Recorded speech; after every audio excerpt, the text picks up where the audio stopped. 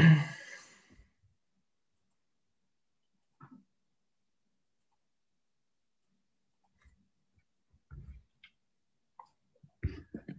tak dobrý, uh, dobrý podvečer. Ja vás vítam na dnešnej uh, prednáške, ktorú bude mať profesor z Univerzity Komenského Milan Kováč. Bude sa týkať v podstate fenoménu krvi a, a rituálu obete krvi u majskej civilizácie. Táto prednáška bude trvať približne 60 minút. Vy môžete počas nej posielať otázky priamo do komentárov pod touto prednáškou a po nej, uh, po nej vám na tieto otázky otázky prednášajúci odpovie. A tiež by som chcel ešte pripomenúť, že táto prednáška je podporená z verejných zdrojov uh, Fondom na podporu umenia. No a ja už by som chcel medzi nami teda privítať Milana Kováča a nechať mu priestor na prednášku. Dobrý večer. Teším sa veľmi, že som bol pozvaný a ďakujem za pozvanie e, dierov do sveta, e, pretože možno mnohým dobre padne počas týchto covidových dní, e, keď sme zavretí všetci v celách, si vypočuť niečo z celkom iného sveta. Na druhej strane nechcem vás nejakým spôsobom vystrašiť ešte viac, než vás straší samotná pandémia a vysvetľovať krvácanie pomaly zo všetkých častí tela, ktoré podstupovali starí majovia.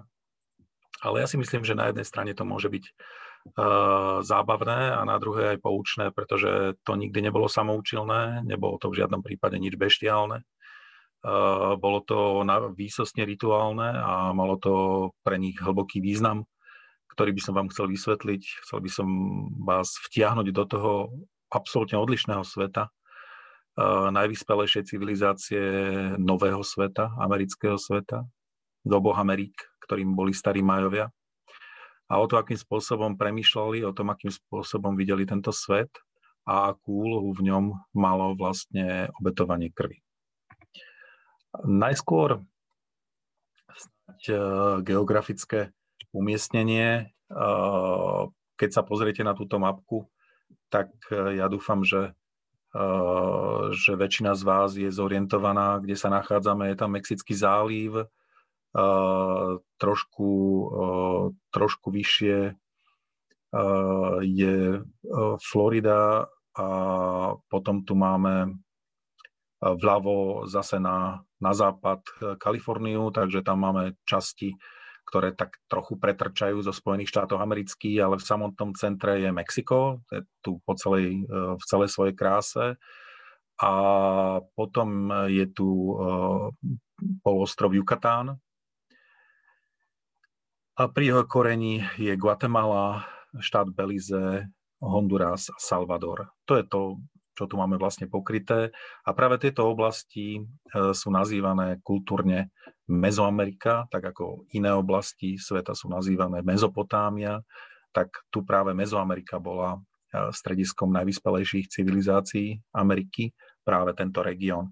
A z nich e, najvyspelejšia, tá, ktorá to kultúrne dotiahla vlastne najďalej, boli starí Majovia. Starí Majovia sídlili len eh, v tej východnej a južnej časti celej tejto oblasti Mezoameriky. Je to eh, najmä poloostrov Yucatán, tam je slávne stredisko napríklad Čičenica, potom je to úplne kompletne celá Guatemala, eh, odtiaľ je známy Tikal napríklad, potom je to mexický štát Chiapas a Tabasco, o Chiapasu je známe Palenke, veľmi slávne. Patrí tam aj celý štát Belize, ktorý dnes e, síce vyzerá trocha inak, lebo je to najmä černožský štát, ale málo kto vie, že má početné majské obyvateľstvo a pôvodne bol to kompletne majské teritorium. Má množstvo majských pamiatok. No a potom sú tu Honduras a Salvador, ale z nich e, len veľmi malé časti na západe. Len tieto západné časti patrili vlastne do tejto majskej oblasti. Ďalej už žili iné etnika menej rozvinuté. Z týchto oblastí je snad najslavnejší Kopán. Uh, možno mnohým z vás nemusím predstavovať majskú civilizáciu, ani som si k tomu nepred, uh, nepripravil nejaký rozsiahlý úvod. Snad len to, že podobne ako v starovekom Egypte, aj tu sa stávali veľmi vysoké, veľké pyramídy, ktoré sú charakteristické pre túto civilizáciu. Tieto pyramídy, podobne ako v Egypte, slúžili veľmi často ako hrobky pre svojich kráľov. Proste na, v ich vnútri sa našli vlastne pochované, pochovaní králi, ktorí kedysi tieto pyramídy dali postaviť, takže ten účel bol tak trošku podobný ako aj v starom svete boli častokrát monumentálne a čo je na tom možno najzaujímavejšie je to, že dnes stoja na pospol vlastne v džungliach, ktoré sú neobývané, takže nemali nejakú kontinuitu, aspoň väčšina z nich, e, zhruba okolo toho 9. 10. storočia, boli tieto miesta z neznámeho dôvodu vysídlené a zostali vlastne uprostred zostali uprostred Eh, džungle vlastne v podobe ruín, kde ich z nich nachádzame, vykopávame a mnohé z nich sú sprístupnené aj eh, turistickému ruchu. Tu sú eh, niektoré prvky architektonické, napríklad niektorých stavieb na Jukatáne. Vidíte, že tá, tá vyspelosť a ornamentalika tam bola veľmi veľká a vysoká. Takisto si tu môžete pozrieť, ako vyzeralo centrum Eh, starovekého Tikalu v dnešnej Guatemale. Eh, bola to pyramída na pyramíde, uprostred boli námestia plné tzv. stél, popísaných eh, kameňov, vlastne otesaných, na ktorých boli záznamy o čase a historických udalostí vlastne kráľov, ktorí vládli týmto mestám. Podobne, len v trošku menšom možno vydaní vyzerali ďalšie mesta a takýchto miest boli stovky. Dnes vieme, že majský, majské územie bolo posiaté stovkami a stovkami e, takýchto miest, ktoré boli združené do, združené do kráľovstiev. Tak ako u nás kedysi v stredoveku, tak aj tu bolo vlastne množstvo kráľovstiev, ktoré navzájom utvárali aliancie, a mali, a to, čo zdieľali, častokrát teda boli nepriateľmi, niekedy priateľmi, ale to, čo zdieľali, bola spoločná kultúra, jazyk, literatúra, písmo, astronómia, matematika, ktoré mali na veľmi vysokej úrovni. Samozrejme dnes ich obdivujeme tak trošku aj z uh, takého romantického pohľadu, pretože uh, je to naozaj nádherný zážitok vlastne pozorovať tieto ruiny v džungli, kde stovky a stovky kilometrov okolo vás nie je nič, len vlastne divá príroda. A predstava, že tam kedysi rozkvítala Eh, tak, tak rozvinutá civilizácia, ktorá nejakým spôsobom, ako sa, ako sa vraví, záhadne zmizla, podne, podnecuje a podnecovala množstvo romantických vlastne predstav a tu myslím, že to je aj tiež dôvod, prečo turisti veľmi často túto oblasť navštevujú, na aké si vyhľadávajú tam ako si vnútornú očistu a Mm, tie dôvody teda nie sú len historicko-poznávacie, často sú spirituálne. Preto eh, je vlastne táto oblasť eh, mm, turisticky mimoriadne atraktívna. Čo však pre nás, ktorí sa zaoberáme eh, touto kultúrou hlbšie, je oveľa zaujímavejšie, je to, čo sa nachádza pod zemou. To znamená vykopávky, to, čo je vlastne už dávno pod vrstvami hliny tu vidíme napríklad jednu z hrobiek, zo slávnych hrobiek eh, v meste Rio Azul, hlboko v džungli. A takýchto hrobiek tam bolo viac, ktoré sú vlastne popísané nápismi, ktoré sprevádzali mŕtvych kráľov a príslušníkov kráľovských rodín na, na druhý svet. Ale to samotné zameranie tej dnešnej prednášky Eh, mohol by som ešte veľmi veľa rozprávať o majskej kultúre, je toho naozaj a naozaj veľmi veľa, ale tá prednáška by bola dlhá, zameraná mm, veľmi všeobecne. Eh, Mojím cieľom je dnes hovoriť skôr o tých obetiach krvi, ktoré súvisia so starými majmi. Preto eh, po takom krátkom úvode, ktorý nám len tak trošku vlastne naznačil o veľkosť a majestátnosť vlastne tejto civilizácie, sa hneď pustíme do toho, akým spôsobom tam ľudia krvácali. Že? A prečo? Tu máme jeden výjav z nástenej malby, tam je množstvo nástených malieb v meste Bonampak, takisto hlboko v džungli. Ktoré nám rozprávajú mnoho príbehov. Jedným z nich je napríklad zajatie to, mm, nepriateľských zajacov vojskom lokálneho kráľa, ktorý tam stojí v strede, vidíte ho s tou kopiou. Majskí králi väčšinou sa dávali zobrazovať poriadne namosúrení a pri jeho nohách klačia zajaci sú im strhnuté ich insignie, oblečenie, tak aj bolo jasné, že sú ponížení, že toto sú vlastne zajaci, nemajú nárok, oni budú všetci popravení takto. Majovia, aj podobne iné mezoamerické uh, kultúry jednoducho zajacov uh, zväčša popravovali. Ale ešte predtým sa pokusili z nich vyžmýkať pár kvapiek krvi. A to určitým predpísaným rituálnym spôsobom a za určitých okolností. Všimnite si, že eh, tí zajaci nejakým spôsobom spínajú ruky, tie prsty tak spájajú a z tých prstov im unikajú vlastne kvapočky krvi. Uh, vidíme to hlavne na tom, v tom dolnom rade, tu už sú trošku vyblednuté v tom hornom, ale je to tiež len akoby bolesťou sa spínajúci zajatec, ktorý ukazuje kráľovi vlastne svoje prsty krvácajúce. Domnievame sa, že podnechty im zapichávali vlastne ostne alebo trne z kaktusov a týmto spôsobom spôsobovali bolesť a krvácanie, ktoré nebolo však samoučelné, ako zistíme neskôr. Bolo to vlastne spôsobenie bolesti a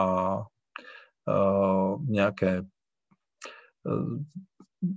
ako som povedal, výžmýkanie krvi, ktorá bola ale dôležitou a očakávanou súčasťou vlastne takéhoto zajateckého rituálu. Tá krv tam nebola vlastne samoučelne, teda nebolo to vlastne nejaké sadistické predstavenie, ale bol to, bol to vlastne svojím spôsobom rituál. Všimnite si, tu je iné, iná prekresba alebo premalba tej nástenej malby. Všimnite si vlastne tohto zajaca, ako mu vlastne z obidvoch e, rúk, presne z prstov vidno, že, sú to, že to bolo zamerané na prsty, kvapka vlastne krva. Niektorí ďalší už tu ležia mŕtvi, to znamená, že tí už, tí už definitívne vlastne vykrvácali alebo skončili. Však otázkou, ktorú si tu musíme klásť, je, prečo mali záujem, aby tí zajaci krvácali. Odpoveď je taká, že e, preto, lebo nekrvácali len zajaci. Krvácali aj tí, ktorých zajímali, a to v celku dobrovoľne krvácanie bolo vlastne veľmi frekventovanou súčasťou majského rituálneho života. Kr- púšťanie si krvi a obetovanie krvi uh, bolo veľmi dôležité pre kult bohov a ako najvýznamnejšia a najcennejšia obeta zo všetkých. Uh, samozrejme, nie vždy končila smrťou a zvlášť pokiaľ to bolo dobrovoľné, tak, uh, tak sa to konalo, ale v celku frekventovanie, ako nám popisuje napríklad kniha Diega de kde píše o tom, že si prepichovali vlastne všetko ako uši, nosy, eh, jazyky a eh, prsty a priestory eh, medzi prstami a ďalšie orgány, ku ktorým sa ešte dostaneme. Toto je vyobrazenie už z,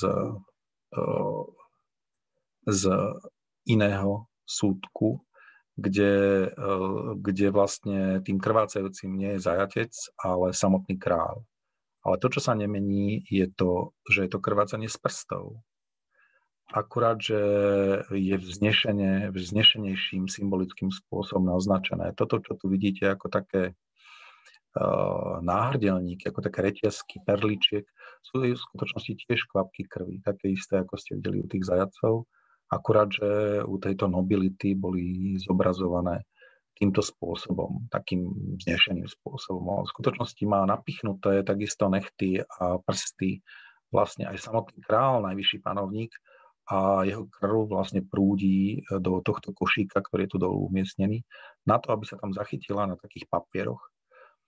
A Majovia už vedeli vyrábať papier a tie papiere boli potom spalované vlastne božstvu pretože dôležité bolo tú krv potom v nehmotnej podobe, v podobe vlastne dymu spáleného spolu s rituálnou živicou, dostať vlastne hore do neba k Bohom.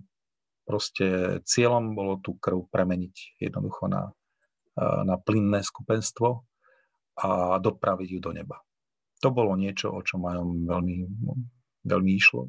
čo stáli a na čom vlastne veľmi dôsledne pracovali. Tie cesty toho obetovania boli rôzne. To, čo tu vidíte, je vlastne kráľovský manžel s kráľovnou v, v meste e, Jaštila. A kráľovná si uh, cez jazyk prevlieka uh, vlastne povraz, na ktorom sú navlečené trne z agáve. Tu je, tu je detail.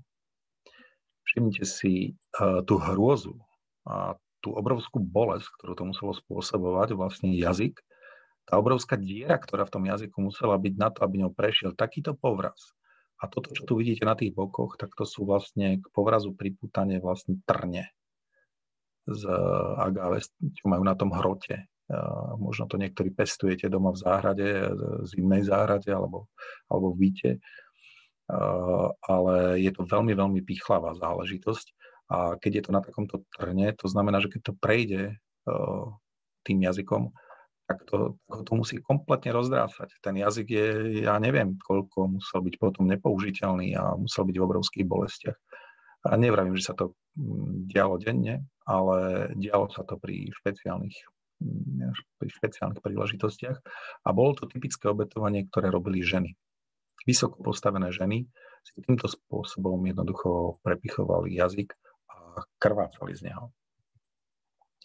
To krvácanie bolo zachytávané Uh, vidíte, tu, tu je zase kráľovský manžel, král a tu je kráľovná a zase má vlastne povraz a nie zrovna tenký, pomerne hrubý, ktorý prechádza vlastne vyplazeným jazykom. Tade to si ho vlastne preťahuje a nie sú to naznačené kvapky krví, ale je tu dolu vlastne miska, v ktorej sú takéto papiere, zase prúžky papiera, a na ktorých sú škvrny a tie škvrny sú od krvi. Takže toto je vlastne papier, ktorého, do ktorého vlastne steká krv z jej jazyka, potom zmieša so kopalovou živicou a sa to zapáli a obetuje vlastne Bohom. Je to najvyššia forma obeti, akej boli vlastne ľudia schopní.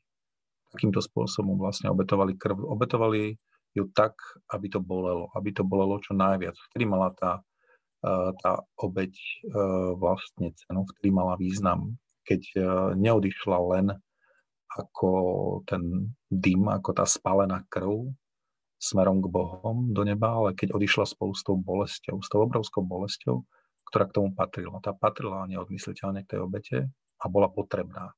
Bolo potrebné, aby to bolelo. Nie je práve, aby sa to urobilo takým nejakým eh, chirurgickým spôsobom, aby tá krv tam bola, ale Eh, aby človek netrpel, ale presne naopak, aby trpel čo najviac. Toto je to, čo nás na tom zaráža a zároveň fascinuje, prečo to týmto spôsobom robili a čo tým sledovali, k čomu to vlastne slúžilo.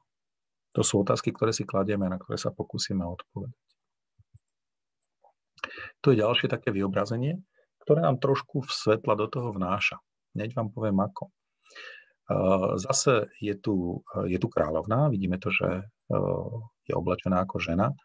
A zviera opäť podobný košík, v ktorom sú papiere a aj keď nemá vyplazený ten jazyk a neprechádza je vlastne jazykom tá šnúra s trňmi alebo podobná šnúra, ktorá by, ju, ktorá by ju príšerne bolela a spôsobovala jej masívne krvácanie, ale zjavne to už má za sebou. Má, má trošku pootvorené ústa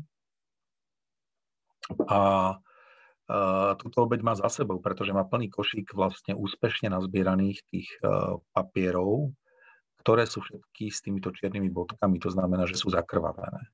Toto je niečo, čo obetováva v tejto chvíli.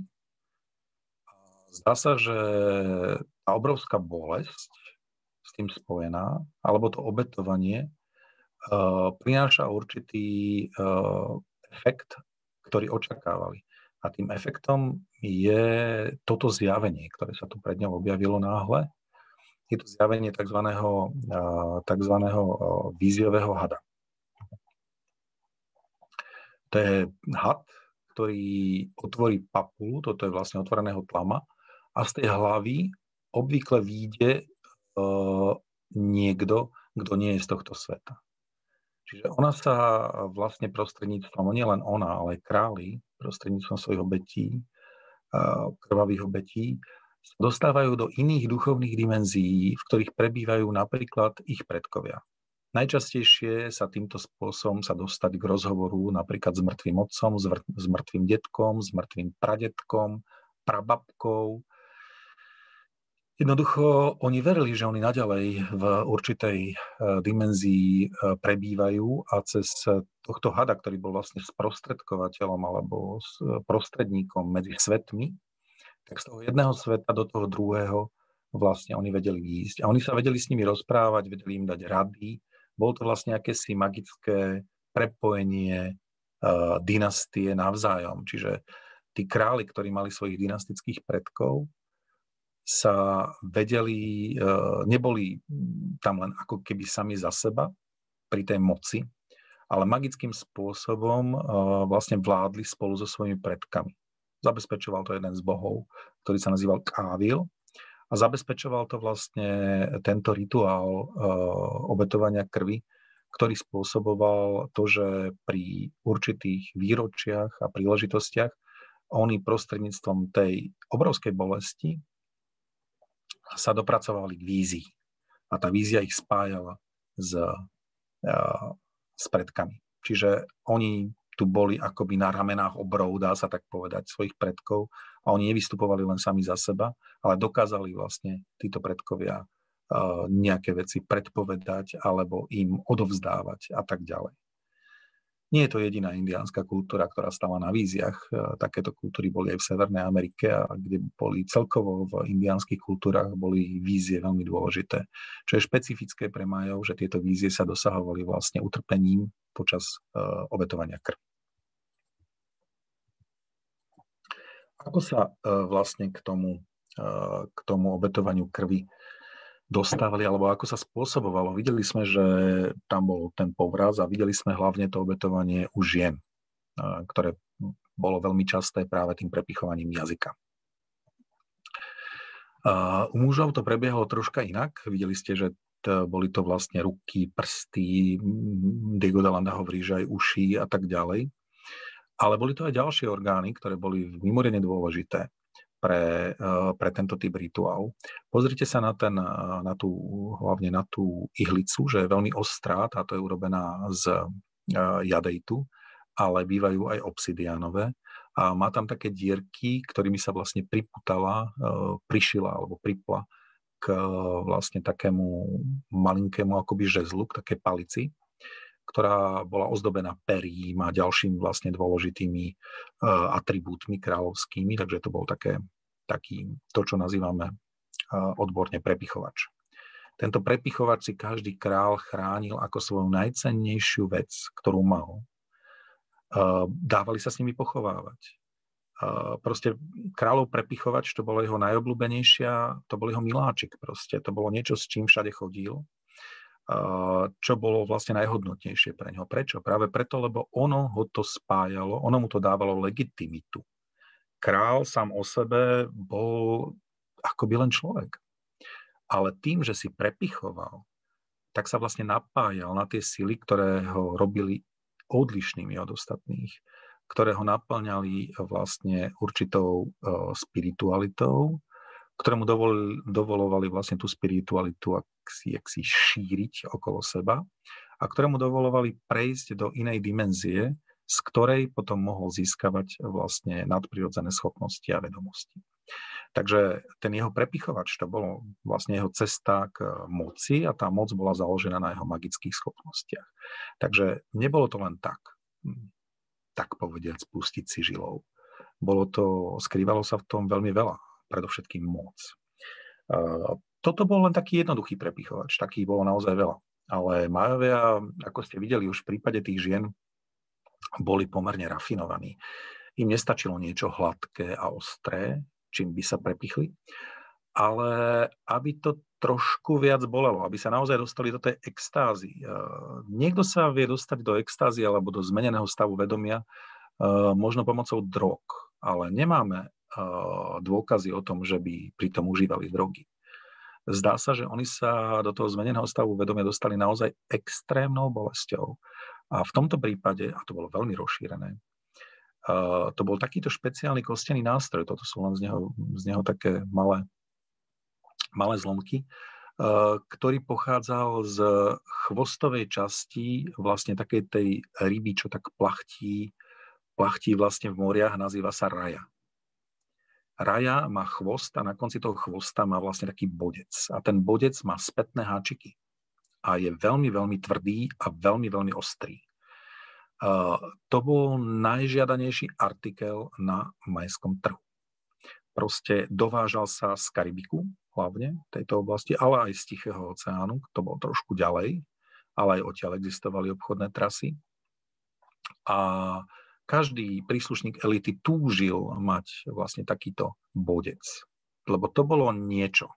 Proste keď si niekto bodal len obyčajným trňom z kaktusov alebo nejakým e, bodcom z obsidiánu, to bol pomerne bežná vec, lebo sa, e, lebo sa vyskytoval často. E, jadeitový bodec už bol, už bol cennejší, ale skutočnú hodnotu mal bodec z trňa raje tie sa získavali ťažko, tých hrají zase nebolo toľko.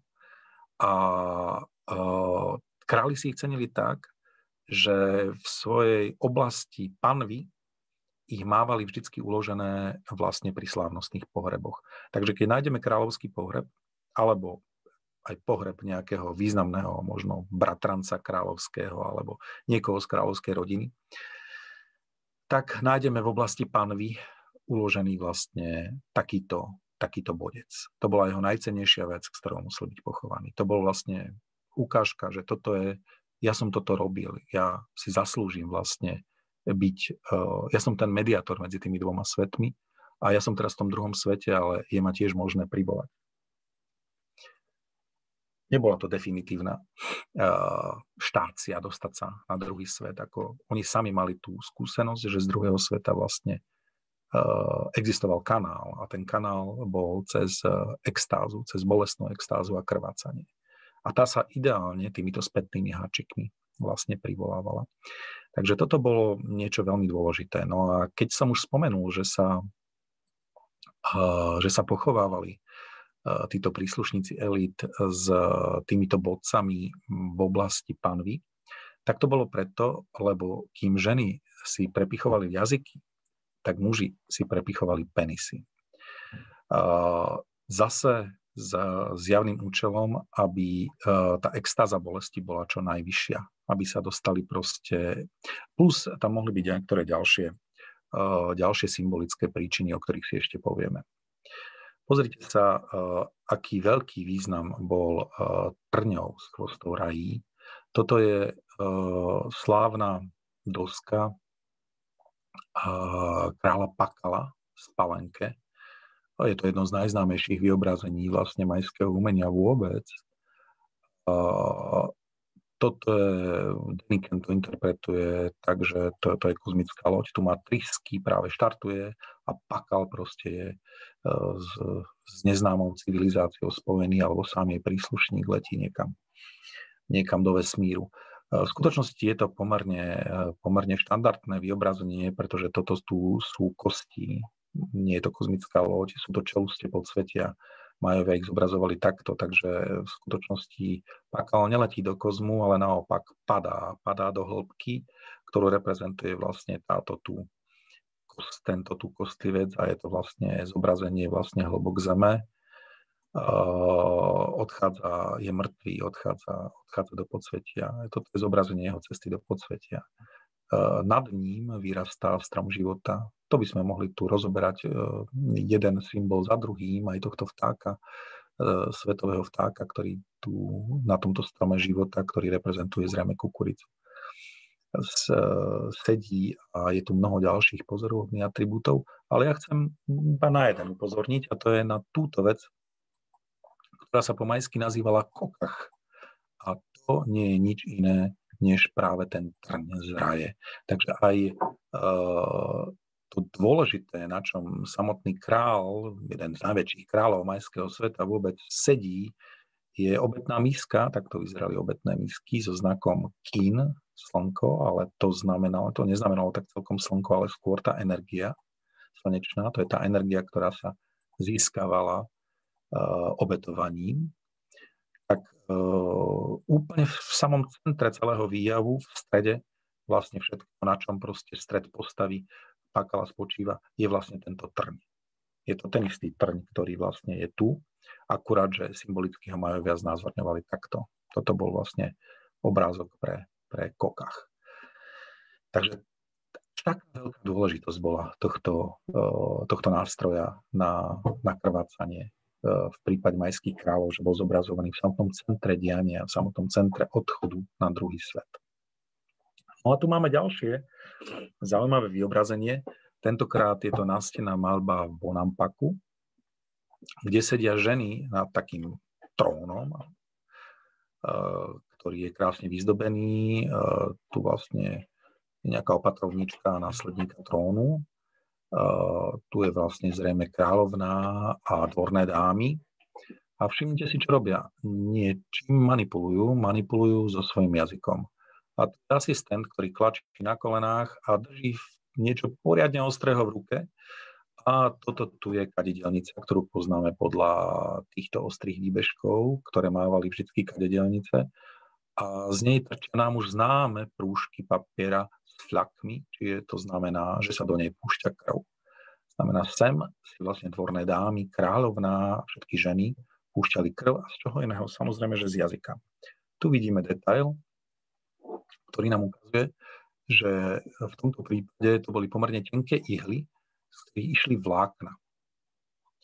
Tentokrát nemajú vlastne trne, ale tieto vlákna, pokiaľ vieme, podľa údajov, ktoré tiež e, máme od e, niektorých kronikárov z raných čias, e, tieto vlákna spôsobovali tiež poriadnu bolesť, keď sa tým prevliekli. To boli také ostré, draplavé vlákna z nejakého druhu trávy, ktoré vlastne veľmi boleli. Tu vedľa je náš nález už z našich slovenských výkopávok, zvlášť ktorý je veľmi starý, takmer 700 rokov pred našim letopočtom, ktorý e, je e, spolu s pohrebom. No a pri pohrebe e, si ženy neukladali k sebe vlastne ihly preto, aby mohli na druhom svete šiť, ale si tam ukladali ihly práve z týchto istých dôvodov, z akých si tam muži ukladali vlastne tie kokach, tie, tie so spätnými háčkami, tie trne z rají, takže my si tam ukladali svoje perforačné ihly na jazyk. Takže je to tiež to najcennejšie, čo mali proste uh, to, čo im pomáhalo uh, spájať sa s druhým svetom a to, čo ich z nich nerobilo len bytosti z mesákosti, to, čo z nich robilo bytosti, ktoré e, boli v spojení s dvoma svetmi, alebo ktoré boli schopné spojenia s dvoma svetmi. No ale pozrime sa na jedno vyobrazenie z klasického obdobia, kde vidíme, že, jak som vám hovoril, že králi mali také vlastne palice, podobné akoby žezlu, na ktorých mali veľké množstvo rozličných hozdú, peria a tak ďalej, ale na tie palice bol pripnutý v konečnom dôsledku ten, uh, ten hrot z obsidiánu alebo uh, z uh, jadeitu, niekedy len z kosti, dobre zaostrenej. A mierí si ním zjavne na pohlavie. Takže tento král, a tu je to um, veľmi pekne vyobrazené, si uh, ním zraňuje vlastne penis. A to krvácanie z penisu je adekvátne tomu krvácaniu z jazyka u žien, u mužov to bolo z penisu. A zase tu je vlastne nejaká, nejaká miska, do ktorej sa zhromažďuje ten papier, na ktorej vlastne to, tá krv prišla. A to sa potom spolu aj s touto maskou jedného božstva, to sa potom celé spaluje ako obeď pre bohov. Takže bolo to veľmi bežné. Vidíme to na majskej ikonografii, toto je výjav z jednej, z jednej vázy, z jednej nádoby, ktorá to zobrazuje. Toto je kráľovský trón, lebo má na sebe jaguáriu kožu, takže toto je určite král. Uh, áno, robili to takto. Jednoducho prepichovali si jazyky, prepichovali si penisy muži a hodne krvácali.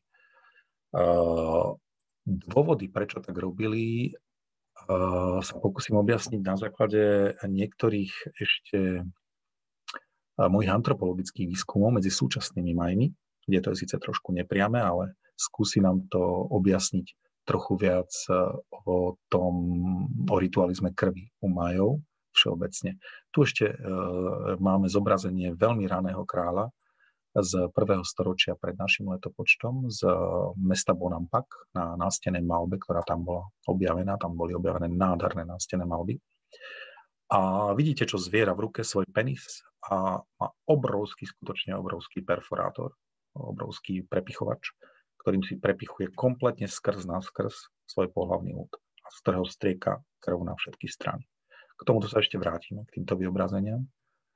A, a trošku sa pri nich zastavíme.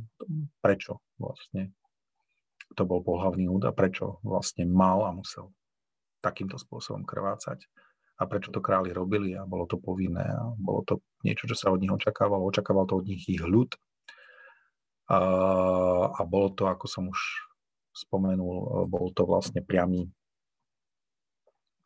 niečo, čo ich delegovalo, niečo, čo ich e, oprávňovalo vládnuť nad ostatnými. Nebolo to len tak, nebolo to len nejaký rituál, bez ktorého by sa to zaobišlo. Bez neho by sa to nezaobišlo. Bez neho by sa nezaobišlo ani to, aby prišli k moci, ani to, aby si tú moc udržali. Bolo to veľmi dôležité prepojenie medzi politikou, kozmom, vesmírom a náboženstvom.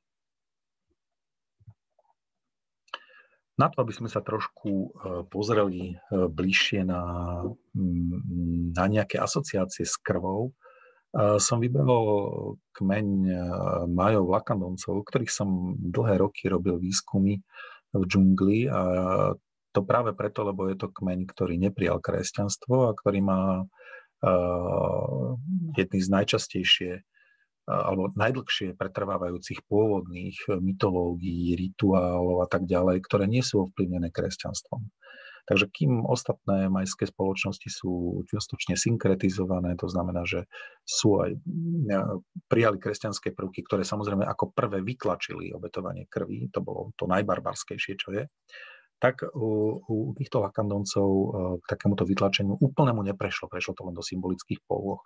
Tu vám chcem ukázať ženy v prvom rade, pretože u žien tu ide o menštruačné tabu.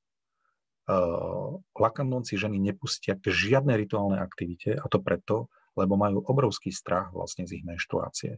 To znamená, krvácanie ako také žien je vlastne vysoko nebezpečné. Všetci sa ho príšarne boja. Toto je, e, toto je vlastne žena, ktorá ukončuje svoje, svoju periódu a ukončuje ju vlastne kúpaním. A po ňom vlastne už je opäť, opäť akoby rituálne čistá, ale to neznamená, že by sa mohla priblížiť k nejakým rituálnym objektom. Pretože e, ženy, práve preto, že menštruujú, nemôžu pristupovať napríklad k rituálnym úkonom, aký vidíme tu. Toto je pre ženy vlastne zakázané. Toto je vlastne, to sú ceremónie, ktoré vykonávajú muži. Práve preto, lebo, ako mi povedali, nikdy sa nevie, ktorá žena menštruuje a ktorá nie. A nikto to nejde skúmať alebo nejakým spôsobom sa o tom presvedčovať. Ale tým, že ženy menštruujú, tak nemôžu sa zúčastňovať na rituálnych aktivitách. Je to, lebo by to bolo veľmi, veľmi nebezpečné. To je ďalšia žena ukázaná, že nie. Na mieste, ktoré sa nazýva zase Jaštilán, chrám 33, ktorý je pre Majov hlavným kultovým, pre Lakandoncov hlavným kultovým strediskom. Tu sa stretávajú a tu podľa nich žijú ich bohovia. Nesmie tam kročiť nikdy žiadna žena. No a odpoveď, dlho som hľadal odpoveď na toto trošku kruté zaobchádzanie vlastne so ženami, pretože v ostatných ohľadoch ženy tam nie sú nejakým spôsobom podceňované. Naopak, častokrát sú, tam, sú to matróny, ktoré vládnu rodinám a ktoré rozhodujú a muži tam častokrát len tak pobiehajú a plnia ich príkazy. Nie je to tak, ale čo sa týka rituálneho života, tam je to veľmi striktné. Uh, nie je to tak, že by tam ženy boli vlastne uh, nejak, nejak utláčané. Uh, všimol som si však jednu vec v priebehu rokov, že, uh, a že pardon, musím sa tam znovu vrácať, mi to nejak samé uteká, že lakandonci e, zvieratá nikdy nezarezávajú, dokonca aj ryby, ako vidíte vľavo, v podstate len hádžu, aby sa udusili na dno kanoe a potom ich navliekajú na taký špagát, ale nikdy ich nepobúchajú kameňom alebo niečím po hlave, aby ich zabili. Oni nechajú iba zadusiť. A to isté urobia aj so e, sliepkami alebo hydinou. Proste, ak má byť nedelný obed, tak ráno sa obesí sliepka, obesí sa pekne na strom a tam sa nechá proste zdochyňať. A niekedy to trvá aj hodinu.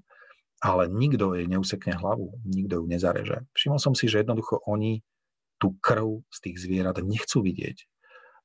Aj v majských kodexoch vidíme vlastne zvieratá skoro vždy obesené.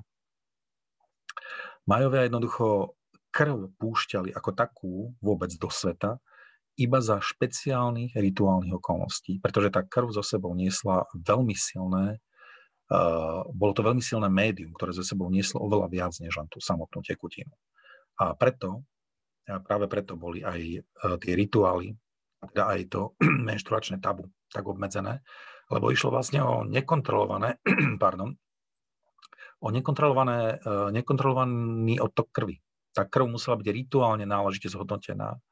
Nemohla odchádzať len tak. Toto tu, čo vidíme, je e, ani zo zvierat, ani z ľudí. A to, čo tu vidíme, je, sú náhradky, e, náhražky krvi. Májovia alebo akandonci vlastne tú krv už nemôžu obetovať tak ako ich predkovia, hoci ešte ich dedovia pradedovia ju obetovávali, ale oni už na to používajú rozličné farbiva, prírodné farbiva, ktoré nahrádzajú túto krv. Oni sú vlastne akoby tá krv a, ju tak, a ich tak nazývajú. Toto je vyobrazenie vlastne matky, matky mesiaca, bohyne vlastne patronky žien, aj patronky menštruácie, ktorá schádza na zem práve keď je mesiac úplne červený počas zatmenia mesiaca a dáva takéto krvavé otlačky dlaní na miesto, kde žije v, jednom, v, jednom, v jednej skale, tak ako mi to vlastne povedali. No ale to, čo vidíme ďalej, je, je vlastne rituálny špecialista, šaman, dá sa tak povedať, ktorý pripravuje určité také balíčky zo živice strom, jedného špeciálneho stromu a ten strom sa nazýva kik, to znamená krv. A tá živica sa nazýva kik. A z nej sa pripravujú vlastne antropomorfné bytosti. Všimnite si, tu má oči, nos, ústa, toto je pupok, toto sú aj prsné bradavky, toto je pohlavie. Toto, tieto bodky sú aj ochlpenie. To je vlastne celá kompletná akoby postava, ona je celá urobená z materiálu nazývaného kit, čiže krv.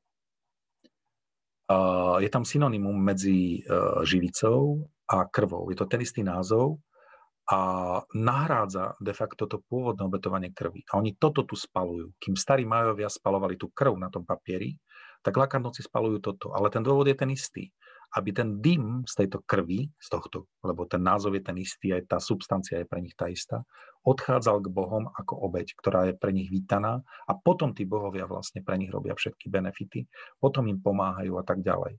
Takže oni im naďalej obetovávajú krv, ale už v tejto trošku modifikovanej podobe.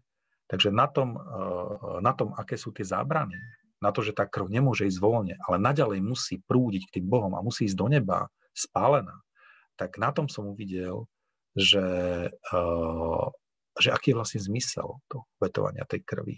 Že je to nielen komunikácia s Bohmi, ale to aj dodávanie akoby výživy a energie Bohom. Je to energia, ktorá hýbe týmto svetom, ktorá dáva rastlinám rásť, ktorá dáva kukurici dozrievať, uh, ktorá spôsobuje, že, že svet sa vlastne hýbe Eh, že, že žije proste. Je to energia života.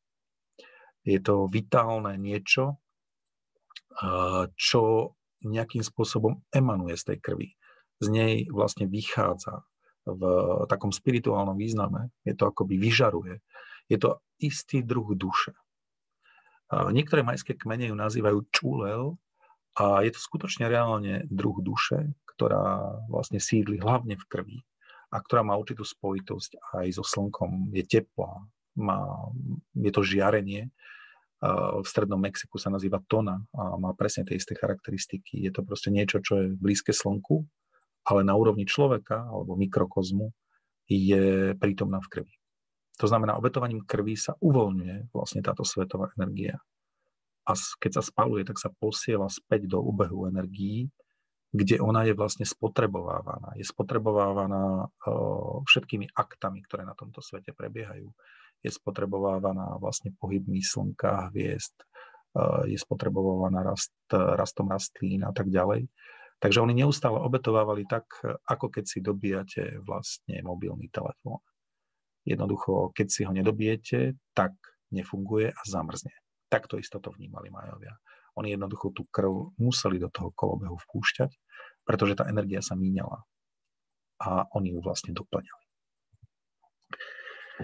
Uh, Majovia vnímali e, tú krv ako, ako substanciu alebo substanciálnu energiu napríklad aj pri zrodení prvých ľudí. Toto je tiež výjav nástenej malby z prvého storočia pred našim letopočtom zo San Bartola kde sa rodia prví, e, prví štyria ľudia.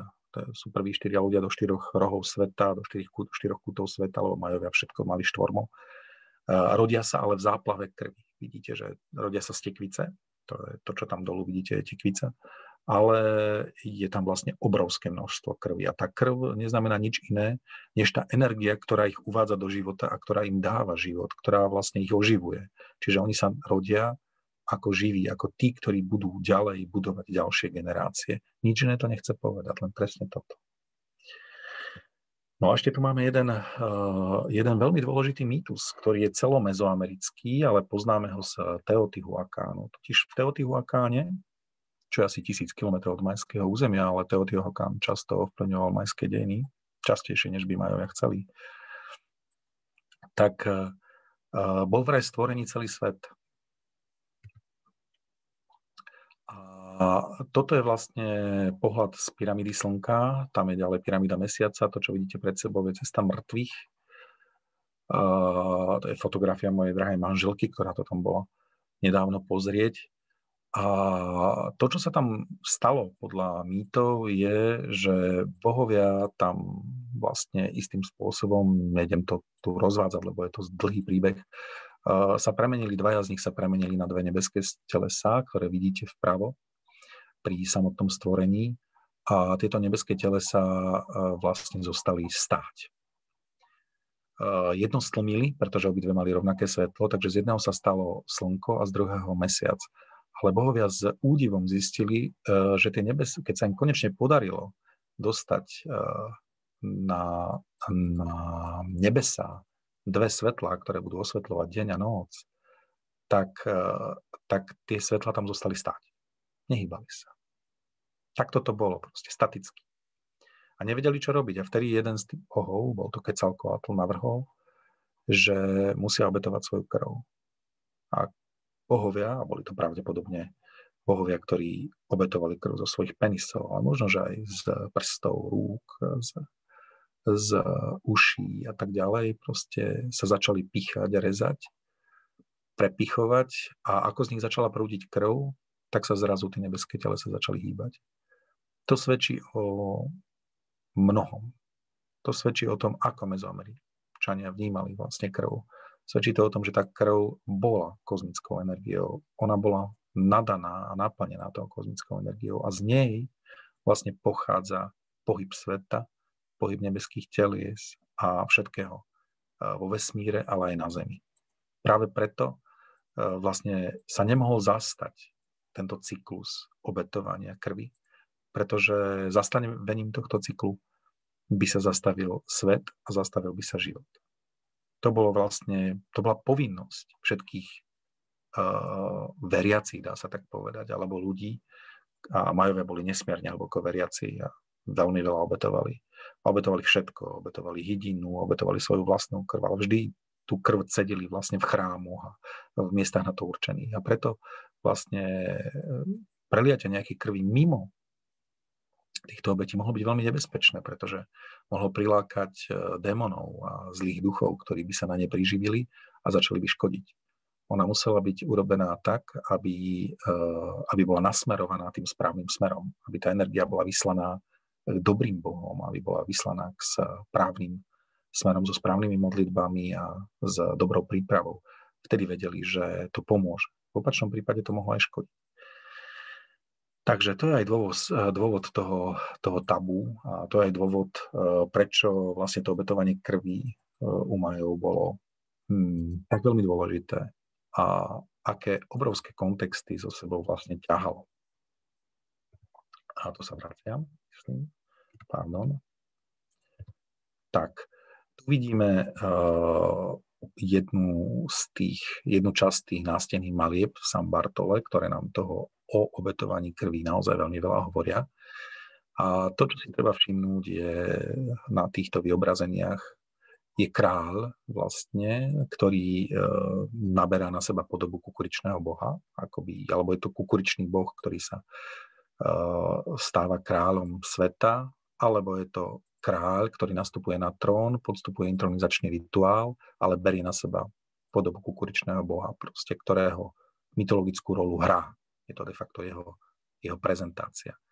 No ale to, čo vidíte, čo robí, je, že si prepichuje svoj penis. Prepichuje si ho uh, pred uh, takými trojnožkami s obetinami a na štyroch rôznych miestach sveta uh, pred stromami života,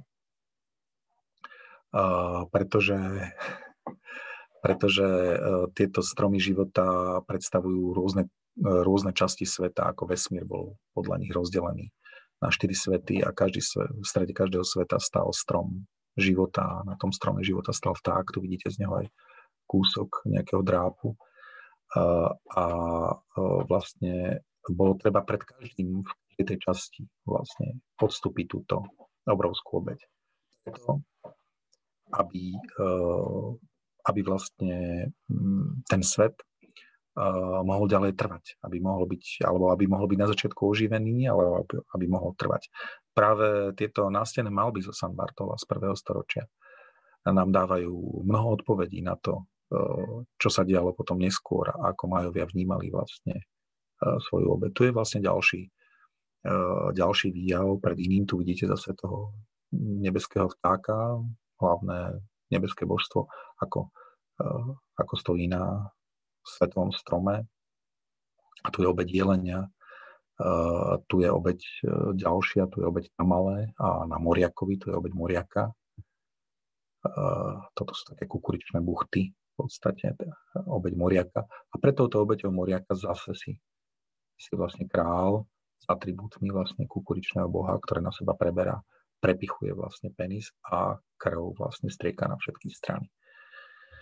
Je to dôležité a ako zistíme ďalej, toto je vlastne pôvodné, tam to boli prekresby, toto je fotka pôvodnej malby, vidíte, že je trošku horšie zachovaná, takže sa používajú často, často je prekresby.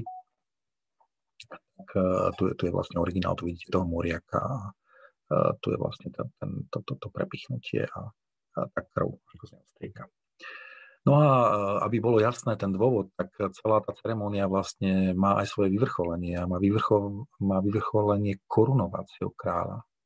Toto je vlastne znak akoby e, hviezd a nebies, takže toto, sú, toto je konštrukcia, akoby král bol na nebesiach, za je zase jeden svetový strom, drží v, drží v rukách ceremoniálnu barlu a je mu nasadzovaná vlastne nejaká helma v podobe koruny. Je to zjavne vlastne kráľovská inaugurácia, ktorá, nastup, ktorá nasleduje, a to je veľmi dôležité, pretože si budeme ďalej hovoriť, po tom obetovaní tej, tej krvi. Takže tou krvou, tou obetovaním tou krvi, tej krvi z penisa sa tento protokráľ, akoby buď podľa na, na základe toho, že sledoval nejaký mytologický vzor, sa kvalifikoval na to, e, že sa mohol stať kráľ. To bolo vlastne dôležité.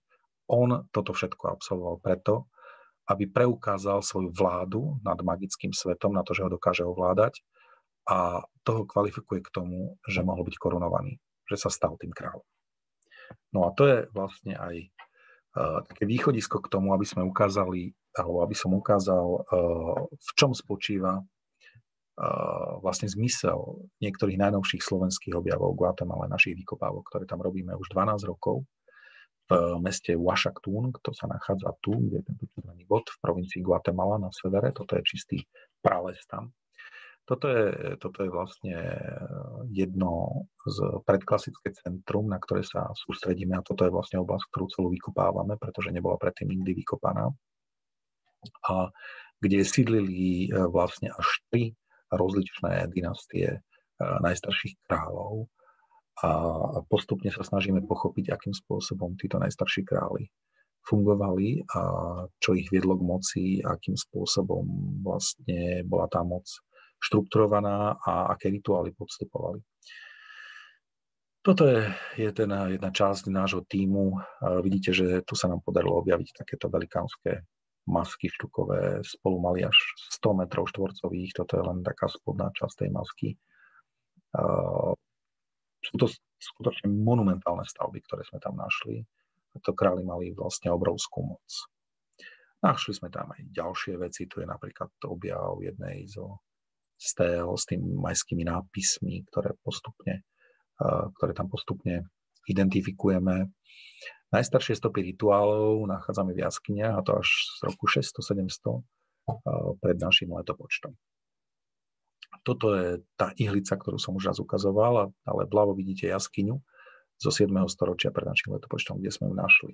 Toto sú vlastne cesty a naše vykopávky, ako sme postupne k týmto veciam prišli. A sú to prvé dôkazy vlastne, že tieto krvavé rituály sa diali už 700 rokov pred našim letopočtom. Hoci San Bartolo ich ukazuje, alebo nám ich dokazuje z prvého storočia pred našim letopočtom. Čiže tu nesmie ich dokázali 600 rokov predtým. No a potom sme našli uh, takéto zdanlivo neforemné neforemné sošky. Oni nie sú malé, oni sú vysoké asi meter. A tieto sochy majú e, na vrchu e, takúto misku na hlave. A my vieme, že táto miska bývala naplňaná krvou. Takže tu je vlastne obetovanie krvi spojené s tzv. brucháčmi. To sú vlastne bohovia, alebo čo sú vlastne také kultové postavy, Eh, veľmi staré. A teraz nedávno sa nám ich podarilo zadatovať a vieme, že sú z obdobia až okolo 500 rokov pred našim letopočtom. Takže už vtedy sa prinášali vlastne krvavé obete v Washingtone.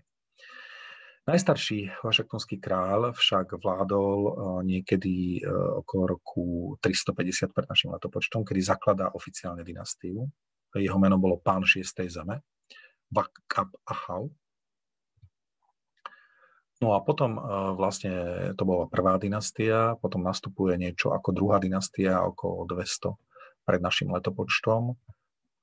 Táto druhá dynastia e, sídlila na skupine Hajuch a toto je napríklad veľká maska slnečného boha, ktorú sme tam tiež objavili.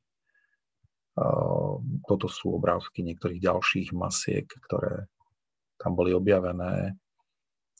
Je to skutočne uchvatné pred, pred klasické umenie, keď si zoberiete, že má viac ako 2200 rokov. Podarilo sa zachovať v, v relatívne dobrom stave.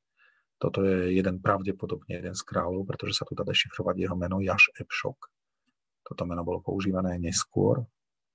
Je to zrejme meno jedno, jedno z, ako meno Boha, akurát, že ho používal zrejme aj král. To sú tie teonima, alebo tie, kráľov, tie mená bohov, ktoré používali aj králi.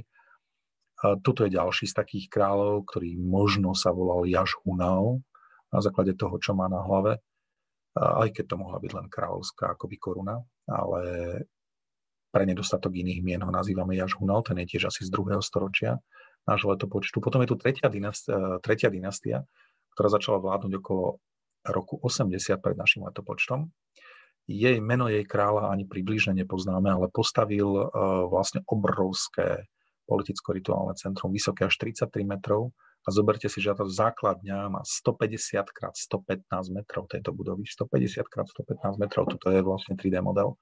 Pozrite si, ako tí ľudia sú mali ako mravce. A toto centrum naozaj ovládalo celý stredný Petén. To bolo obrovské územia a boli, boli mu, podliehali mu mnohé a mnohé ďalšie kráľovstvá. Vtedy Vašaktún a túto vec sme vykopali. Toto, toto objavil slovenský tým. Je to vlastne centrum tretej dynastie, takže tak ako sme ich napočítali, ako postupne vládli v tejto oblasti na základe našich výskumov. Pozrite sa, ako tá budova vyzerala, za čo bola postavená, aké rozle fázy mala a tak ďalej.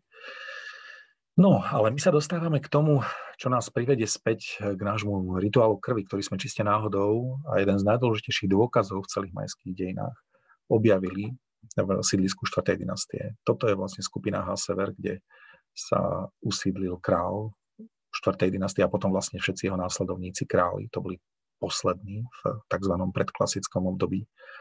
Toto všetko sme vykopali. Toto je vlastne oblasť, ktorú sme vykopali.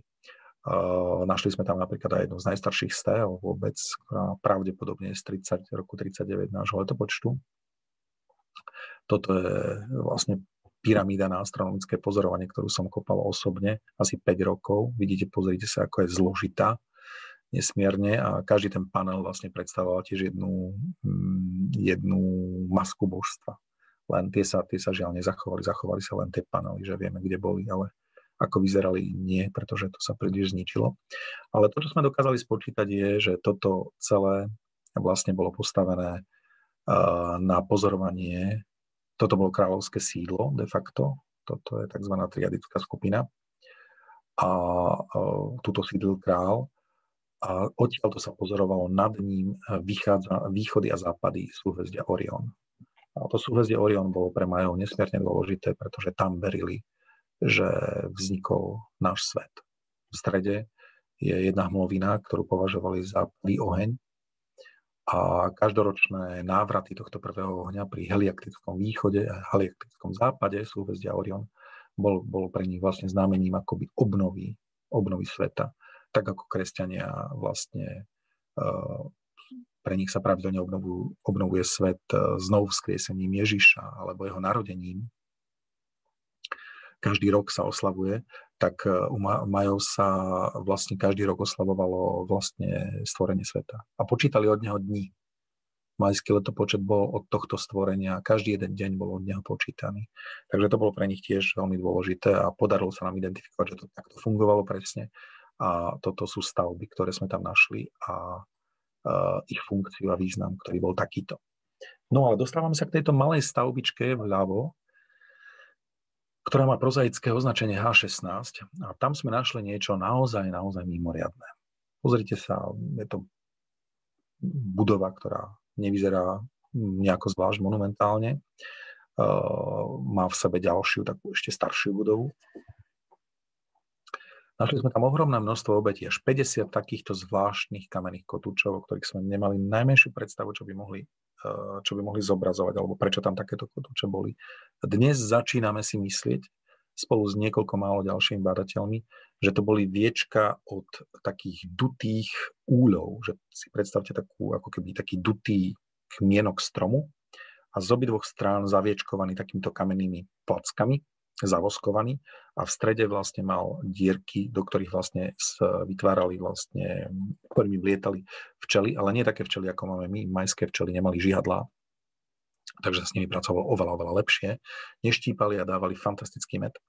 Tak jeden vlastne takýto, jedna takáto jednotka, jeden takýto kmienok dutý s takýmito dvoma pláckami eh, dával, eh, teda predstavoval akoby jednu jednotku s plástami medu. A to bola jedna z naj, najcennejších obetín, aké sa mohli uh, Bohom priniesť.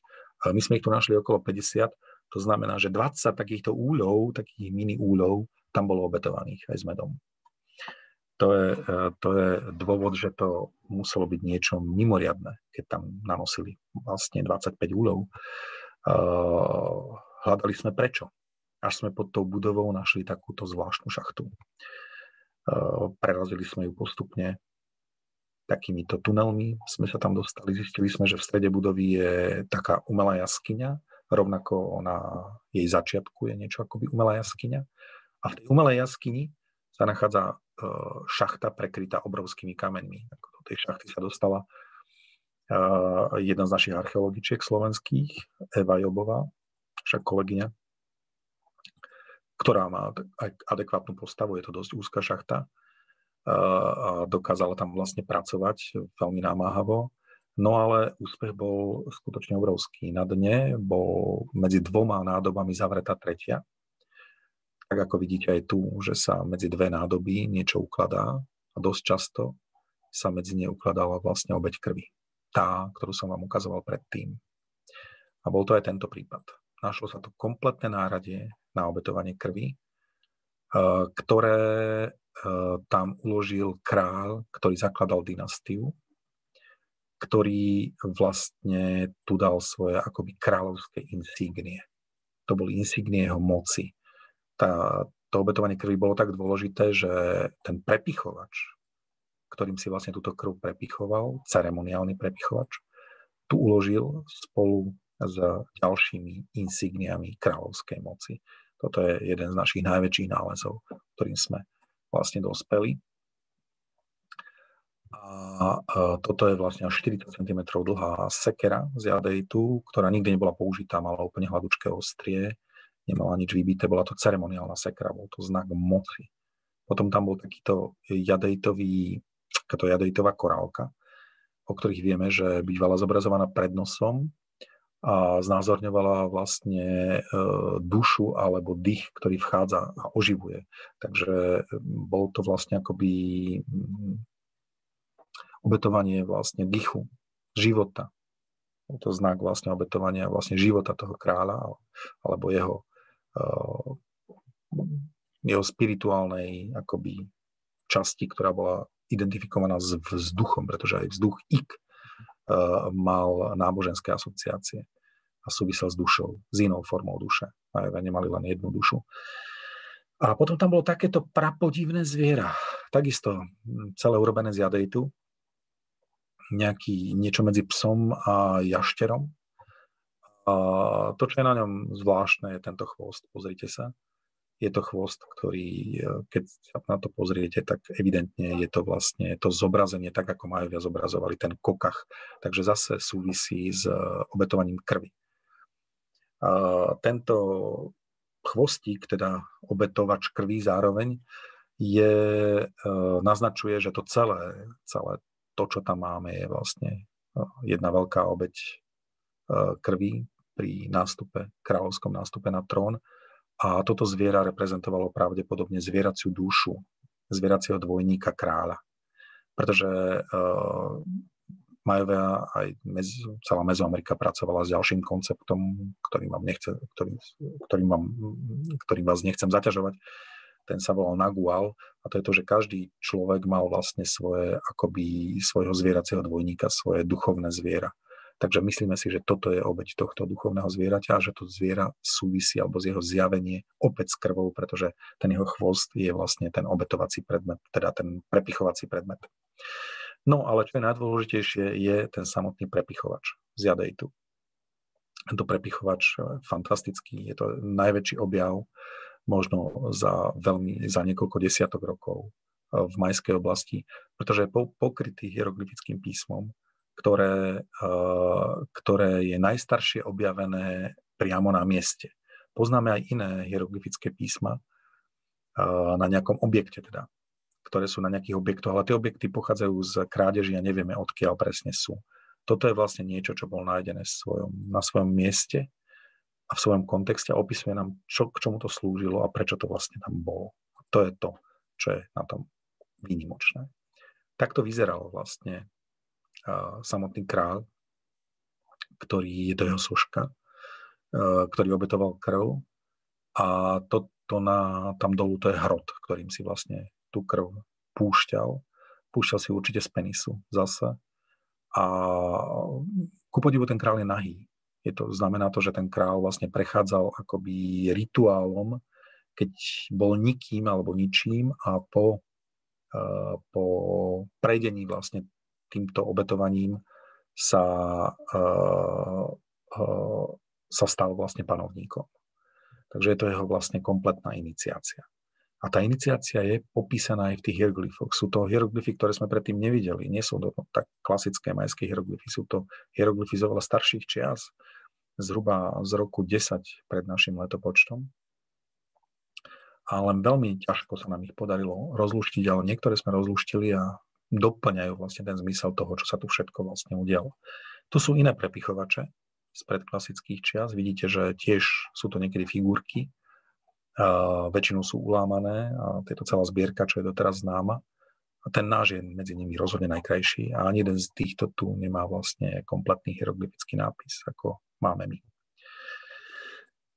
je to, je to, je to prepichovač a vieme, že tá funkcia prepichovača penisov, tak ako sme si ju predtým vlastne popísali v tom San Bartole, že súvisela s intronizáciou, s nástupom kráľa na trón. A tento náš král, ktorý je tu, ktorého sa ešte len pokúsime identifikovať, tiež pomocou tohto, čo sa tam udialo, nastúpil vlastne na trón a začal vládnuť v, v Washingtone potom, ako si prepichol penis a svoju krv obetovalo v nádobe, ktorej sme vlastne tieto predmety našli.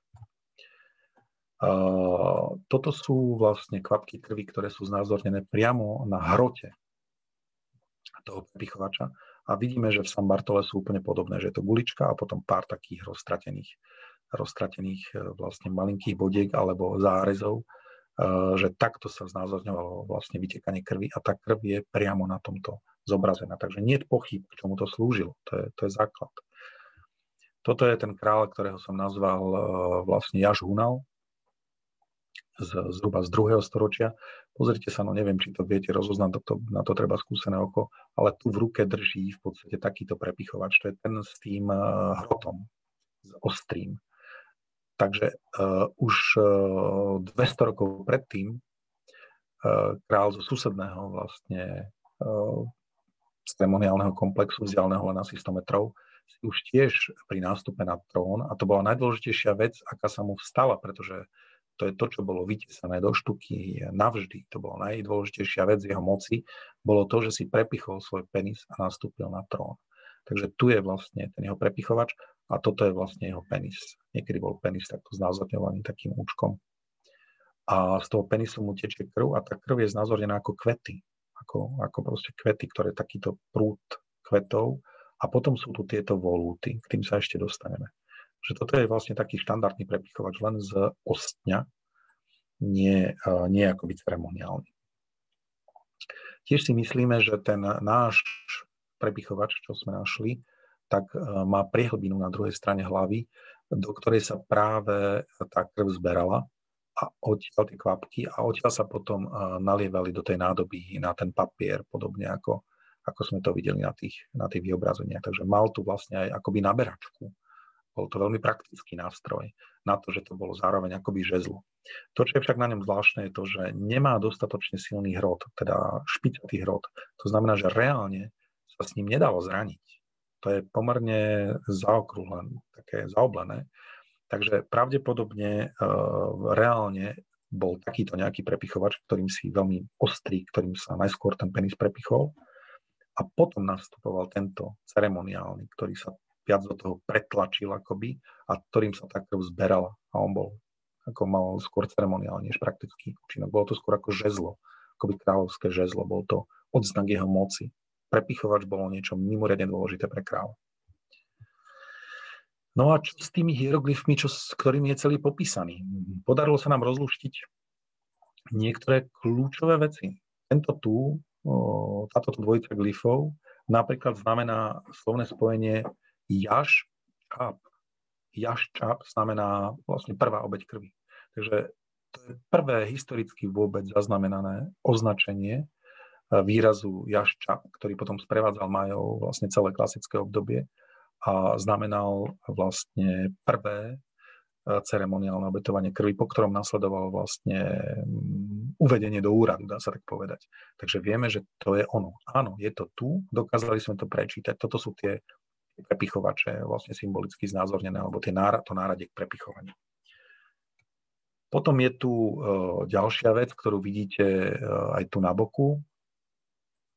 Dúfam, áno, že tu je e, znova ten prepichovač, to čap, a pod ním je nádoba. Tá istá nádoba, v ktorej sme vlastne tú krv potom našli. Takže je to vlastne prvé obetovanie krvi do nádoby tu je vlastne tá nádoba. Takže tak, ako je to tam napísané, tak to tam aj v tom kontexte celého toho vlastne nálezu, tak to tam aj bolo. To sa naozaj málo kedy stane, že um, nájdete objekt, ktorým, ktorému rozmiete, aká bola jeho funkcia a ono je to tam ešte aj napísané, ešte k tomu v najstaršom písme majského sveta, aký bol na nejakom objekte nájdený in situ. To je skutočne niečo mimoriadne výnimočné. To, čo sme najviac hľadali, bolo samozrejme, kto to bol, ako sa ten král volal, kde sa vzal, čo to je za za kráľa. No a toto s najväčšou pravdepodobnosťou je jeho meno alebo titul a jeho meno.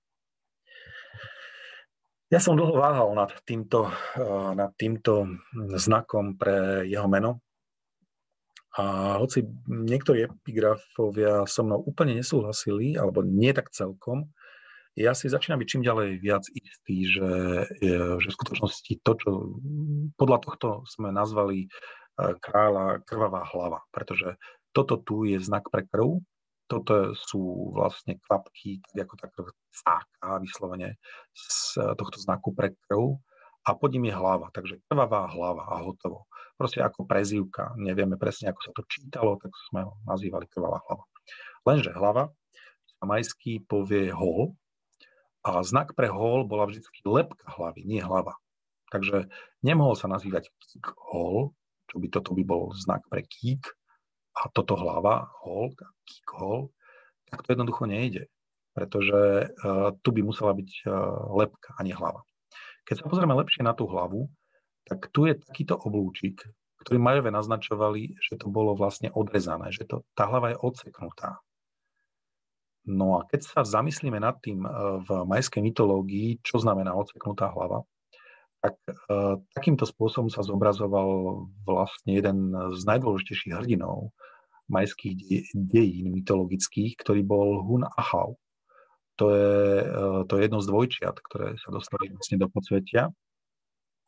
A tento Hun Achau uh, znamená vládca, nič viac. Je to slovo pre vládca. Je to, pôvodne to bol boh, ktorý znovu zrodil, premenil sa na slnko, takisto vlastne dal rast kukurici a tak ďalej. Takže je to mytologicky, je to veľmi bohaté, to, čo sebe skrýva, ale politicky to znamená aha, vládca.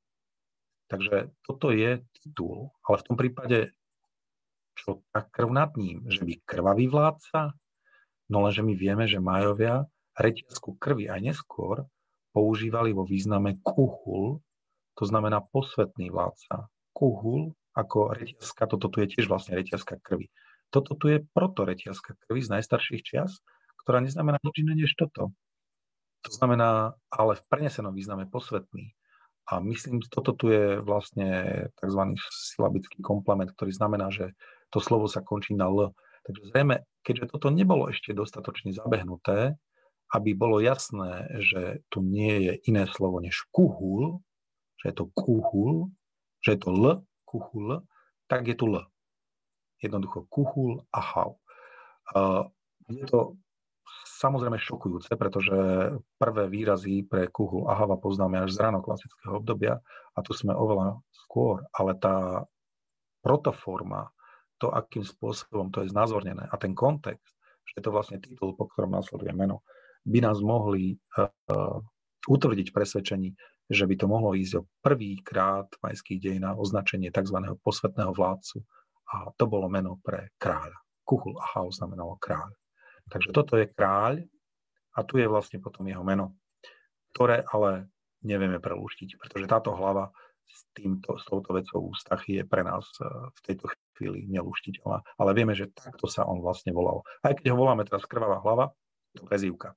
Ale vieme, alebo snáď si môžeme byť, začínať. Začíname si byť istí, eh, že tu ide o titul a že je to vlastne posvetný král a to meno je tu.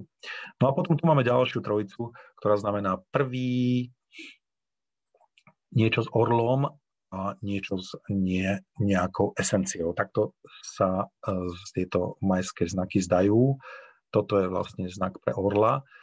No a orol tiež nie je tak vzdialený od krvi majská, e, teda astecká nádoba, do ktorej sa umiestňovala krv, sa nazývala Quaušikali, a, mm, čo znamenalo orlia nádoba. Takže orol bol ten, kto schraňoval krv, pretože on bol e, poslom slnka a tá krv e, v asteckom prostredí Tona bola tá, ktorá spála, spájala vlastne tú energiu slnka s obetovaním, s tým slnkom eh, v astronomickom význame. Takže eh, orol bol znakom slnka a znakom prenosu medzi eh, krvi, medzi obetovaním a prenesením vlastne do jeho centrálneho zdroja vlastne tohto vyžarovania vesmírnej energie k Slnku. Pozrime sa ďalej a zistíme, že na tzv. šúkovom paneli z predklasického obdobia, ktorý bol nájdený v Guatemala, Guatemala že tu král alebo kukuričný boh, niekedy sa to splýva, pretože oni, tí králi nosili na, seba, na sebe masky tohto boha, má v oblasti vlastne pohlavia orliu hlavu. To znamená, to by znamenalo, že, uh, že tu je to obetovanie krvi, kým u Aztekov to bolo obecné, tak tu to bolo konkrétne. Tu išlo o obetovanie krvi z pohľavia v prípade, že sa tam objavuje orol a že by nám to mohlo veľmi presne špecifikovať. No a keď sa vrátime k nášmu kráľovi, toto je vlastne jeho druhá podoba, k tomu, ktorého poznáme z Washingtonu, a to bol, uh, to bol ten um, Jaž Hunal, tak to, čo má v oblasti pohlavia, tu je opäť niečo ako orlia hlava je presne tu. Spod nej mu de facto trčí pohlavný út, z ktorého zase ide krv v podobe kvetov na všetky strany a z ktorého idú kúdoly akýchsi zvláštnych volútov a taká istá volúta je pod tým orlom znázornená aj e, na tom našom prepichovači. Takže išlo tu o akési orol a etrický prvok, akési označenie metaforické, básnické, ktoré v skutočnosti znamenalo vlastne obetovanie krvi z penisu.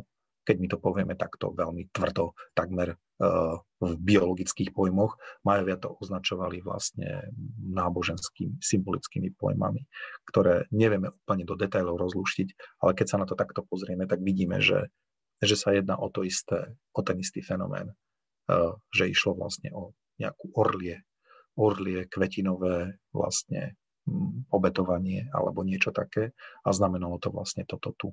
Mimochodom v ruke drží prepichovač. Toto sú vlastne len ozdobné prvky, takže aj tento král si ide prepichnúť vlastne penis, alebo si ho práve prepichol a preto krváca. A preto sa všetky tieto úžasné veci okolo neho dejú, vrátanie e, emanácie týchto, týchto volút zo všetkých strán. No a aby toho nebolo málo, tak máme tu z oveľa neskoršieho obdobia ešte Bohačaka, ktorý si opäť púšťa krv z penisu, prepichu, prepichnutú, mal prepichnutý. Toto je penis, z ktorého vlastne tečie záplavy krvi a je ukončený zase orlou hlavou. Zase je tu vlastne hlava, ktorá, ktorá spája vlastne obetovanie krvi z penisu s orlom. Čo nám ukazuje, že áno, tam ten znak tam bude súvisieť vlastne s metaforou pre obetovanie krvi tohto typu. A potom tu máme krúžok urobený z bodiek, veľmi podobný tomu, ktorý sa neskôr používal zase preto kúhul a ktorý znamenal vlastne tie kvapky krvi. Takže e, zase sa podobá e, tej špirálke, ktorá je pri tom orlovi na, na tom našom vyobrazení tu. A môžeme sa tu pripojiť aj k, alebo môžeme si to tu spojiť aj s vyobrazením vlastne kráľa prepichujúceho si penis v San Bartola na nastenej malbe, kde vidíte, že tu sú prúdy krvi, král prepichuje penis, to, tuto zase drží prepichovač, toto je jeho penis, z ktorého idú vlastne kvety, ale z ktorého idú tieto zvláštne, na všetky strany vlastne vyžarujúce uh, uh, volúty a vidíme ich aj tu. A nie sú priamo spojené s krvou, takže nie je to krv, nie je to ani kadidlo. Toto je napríklad obraz kvetu. Takže znamená to, že tým, že si král obetuje tú, že vlastne z toho penisu obetuje tú krv, tak sa niečo deje. Deje sa, nejakým spôsobom sa hýbe vesmír, niečo sa zásadného kompletne premieňa. Uh, tieto výrony vlastne energie, mohli by sme tak povedať, môžu znamenať to, čo u Aztekov znamenala tzv. tona. Je to slnečné žiarenie, alebo je to mm, zároveň duša sveta je to to, čo oduševnieva, to je to, čo hýbe tými kozmickými telesami, to, čo dáva rásť tráve, to, čo dáva rásť kukurici, to, čo oplodňuje zem. Proste ten král uh, cez obeď, cez uh, svoj pohlavný út v podstate oplodňuje túto zem, ale oplodňuje ju dušou, nie niečím konkrétnym.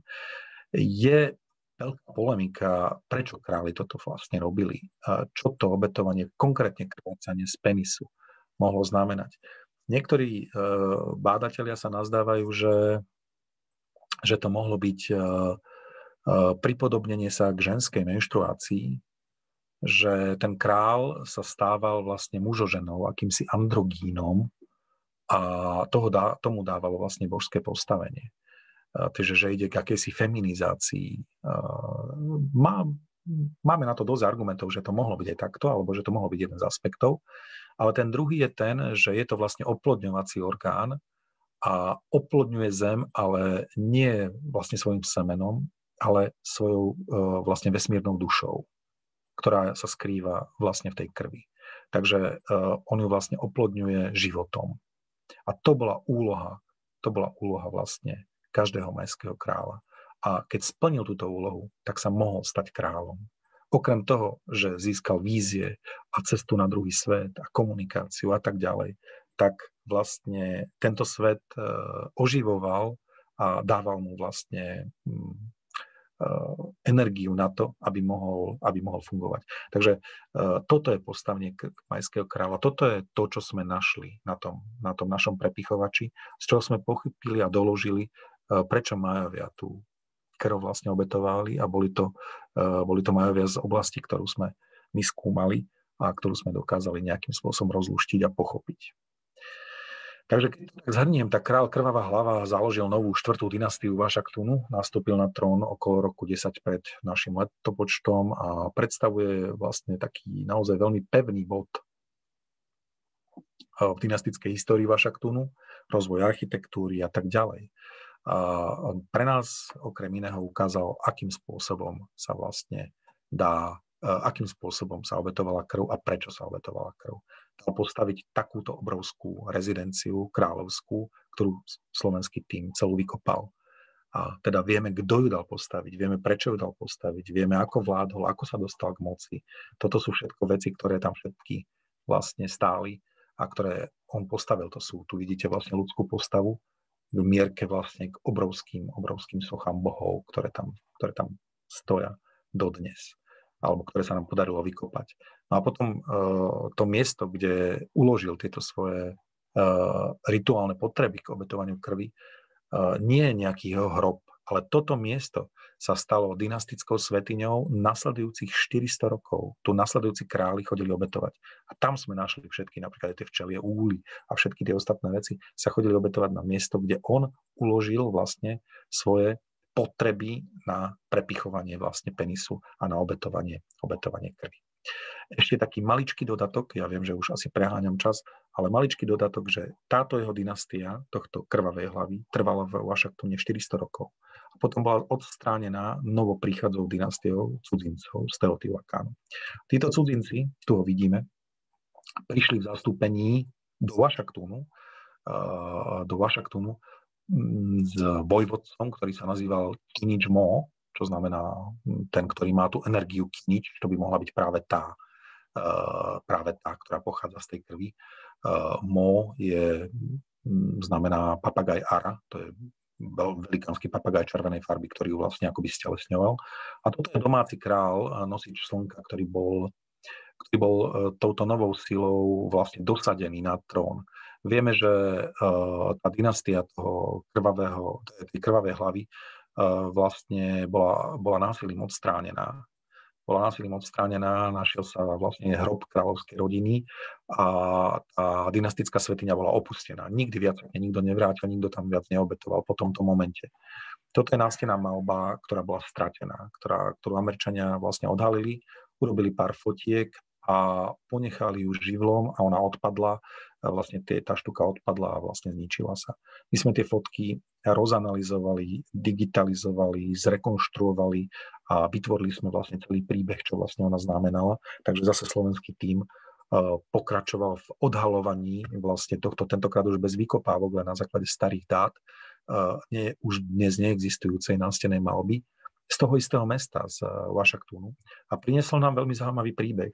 Priniesol nám príbeh vlastne uh, tohto kráľa nazývame nosič slnka, to bol ten dosadený po tej novej dynastii, ktorý uviedol na trón svojho syna. Ten jeho syn sa volal Čok, čo znamená princ alebo mladý, mladý, mladý mladík de facto. Vidíte, že ešte nie je príliš starý, uh, nie je vysoký, je možno, že má nejakých 12, medzi 12 a 14 rokov možno.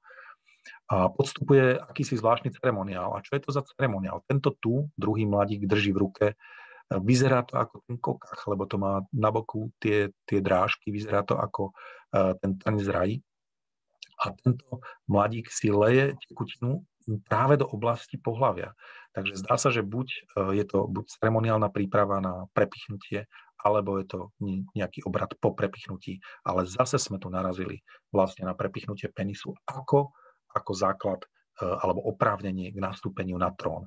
A toto, alebo Mm, toto ceremoniálne, netýkalo sa to len kráľa, týkalo sa to vlastne aj jeho, povedzme, bratrancov alebo kráľovských elít, keď sme zrekonštruovali, že všetci, tu vidíte zase je to v oblasti pohlavia, trpia bolesťou, si prepichujú vlastne pohlavie na to, aby mohli e, vlastne sa stať mužmi, aby mohli e, postúpiť vlastne, zmeniť status z chlapca na muža.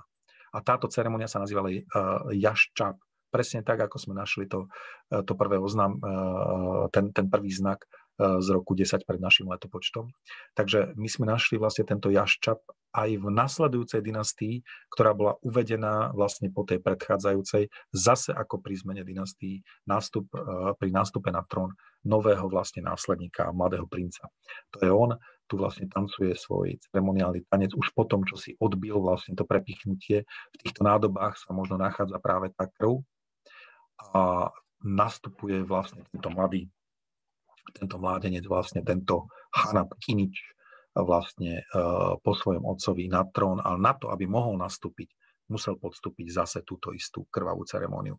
Takže cez celé storočia a práve v našom meste, kde sme našli prvé doklady prvé písomné popísanie je vlastne tejto ceremonie. Pochopili sme význam, čo znamenala, tak sme nakoniec identifikovali aj nástennú malbu z neskoršieho obdobia, ktorá kompletne potvrdzuje to, čo hovoríme, že s týmto, iba vďaka tomuto krvavému rituálu, iba vďaka tomuto typu rituálu sa mladý následník mohol stať kráľom a že to bola vlastne jeho cesta k politickej moci a zároveň k magickému ovládnutiu vlastne síl, ktorého ktorého ako kráľa definovali a ktoré, ktoré, vďaka ktorému vlastne mal tú moc a rešpekt vlastne svojich, svojich poddaných. Toto, sú, toto je vlastne kráľovský dvor, ktorý s úžasom pozerá vlastne na to prepichovanie, na to, ako tento princ sa stáva vlastne kráľom, ako sa stáva ich novým následníkom trónu. Mimochodom, táto celá scéna bola umiestnená priamo nad kráľovský trón. Tam bola namalovaná, aby nikto nepochyboval a k tomu trónu kto mal prístup. Zase len dvorania, ktorí, ak by niekoho z nich niekedy napadlo, že, uh, že to nie je celkom legitímny, alebo že by mohli aj oni mať záľusk na, na moc, tak tu videli sami seba vyobrazených, nad nimi sú ich mená, mimochodom, uh, ako, ako oni, ktorí akceptovali vlastne tento akt, čiže oni vlastne prijali za následníka tohto, tohto, tohto mládenca, ktorý tento akt vykonal a tým sa potvrdilo vlastne v úrade budúceho panovníka. Je to vlastne mm, politicko-nábožensko-magická záležitosť a celá sa točí vlastne okolo bolesti, okolo mysticizmu, okolo vlastne spájania nebeskej a ľudskej sféry, okolo prepa- prepojenia vlastne človeka s božstvom, okolo vesmírnej duše, ktorá sídli vlastne v, v krvi tejto majskej viery a o tom, ako je prepojená, ako bola vlastne veľmi pevne prepojená s dávnymi majskými kráľovstvami. Ďakujem vám veľmi pekne za pozornosť.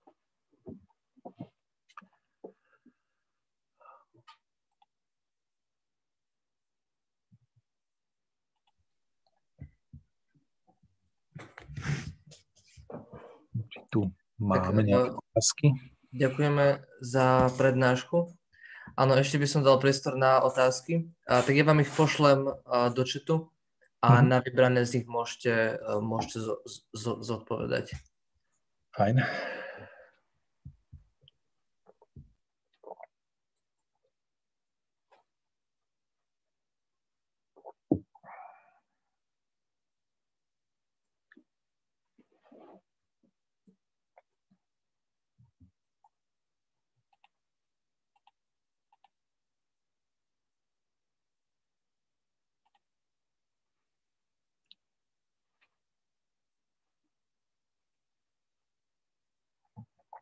Takže ja môžem začať s tým, čo prichádza.